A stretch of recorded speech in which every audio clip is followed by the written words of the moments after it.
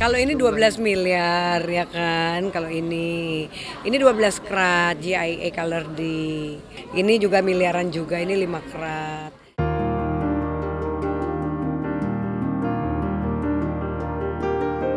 Sering tampil dengan gaya glamor, aktris Barbie Kumalasari ternyata punya sejumlah koleksi berlian batu permata yang harganya bisa mencapai miliaran rupiah itu telah disimpannya sejak beberapa tahun lalu. Seperti apa koleksi batu berlian yang dimiliki pemilik nama asli Kumalasari Mukhlisah ini saat ditemui tim liputan rasis beberapa waktu lalu? Benarkah mengkoleksi berlian bukan sebuah investasi yang menguntungkan? Kalau ini 12 miliar ya kan, kalau ini ini 12 krat GIA Color D ya kan terus ya kalau ini kan kecil-kecil lumayan lah paling cuma sekitar 100-200 juta. Ini juga miliaran juga ini lima kerat. Ini gelangnya juga aku sama Roy sama kan sama-sama ini kayak gini. Itu emas ini emas. Gelangnya juga sama banget. Ini branded juga lah. Oh ini mah paling cuma berapa ya sekitar 200-an 200 jutaan. Satu atau dua? Uh, dua dua. Dua-duanya. Karena kan ini emas. Ini diamond. Kan beda kalau diamond tuh ini juga uh, diamond juga gitu. Sama ini sama ini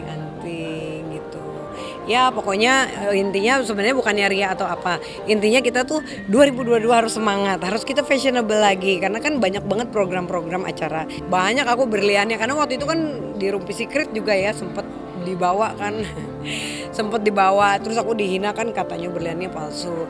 Biasalah itu musuh-musuh yang ya bukan terlanjur kaya. Kalau saya kan memang udah terlalu kaya dari dulu. Jadi menurut aku itu mah hal-hal yang biasa. Ya nggak apa-apa aku mau dibilangin palsu kayak apa kayak yang penting gue tidak menipu orang. Ya gue pakai ya kan yang menurut gue asli. Kalau menurut dia palsu ya sudah karena dia kan nggak punya gitu loh. Kalau berlian itu sebenarnya bukan untuk investasi. Karena ketika kita jual berlian itu jatuh. Jadi berlian itu adalah hobi Nah, jadi kalau hobi itu kenapa orang kaya pakai berlian? Karena dia hobi. Karena kalau kita bukan bukan masalah kayanya gimana ya intinya orang yang mampu beli berlian. Karena kalau dia nggak mampu contoh misalnya dia punya duit cuma uh, 50 juta. Dia beli berlian itu ketika dijual rugi. Ada yang 30% ada yang 20% potongannya. Potongannya. Itu minimal. Nah lu bayangin aja kalau misalnya baru sebulan lo pakai beli 50 juta. Terus tiba-tiba ah gua nggak punya duit kita jual rugi 20% rugi 10 juta bo. Lu rugi 40 eh apa terima duitnya 40 juta. Jadi ruginya 10 nah itu kan maksudnya hal yang sebenarnya membuang uang. Netizen ini pada sirik sama lontin gue.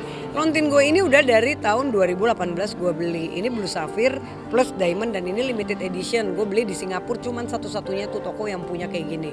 Nggak ada orang yang punya itu apa namanya dihina ya kan? Katanya inilah katanya itu. Terus kok KBRB katanya berliannya uh, kalungnya itu itu aja. Kalau berlian itu kan kalau kita beli bagusnya GIA ada sertifikasinya. Terus kita lihat dulu colornya apa. Colornya tuh kan macam-macam berlian ada yang color D color F color H I J K sampai Z gitu kan. Makin colornya D itu kilaunya tuh makin gila makin bersih banget makin bagus. Jadi kalau ada sertifikat GIA kita bisa jual di seluruh dunia.